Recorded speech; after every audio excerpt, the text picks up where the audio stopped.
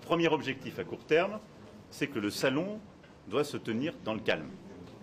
Vous entendez les énervements euh, dès ce matin, et je le dis pour tous les agriculteurs, vous n'aidez aucun de vos collègues en cassant des stands, vous n'aidez aucun de vos collègues en rendant le salon impossible et, en quelque sorte, en faisant peur aux familles y venir.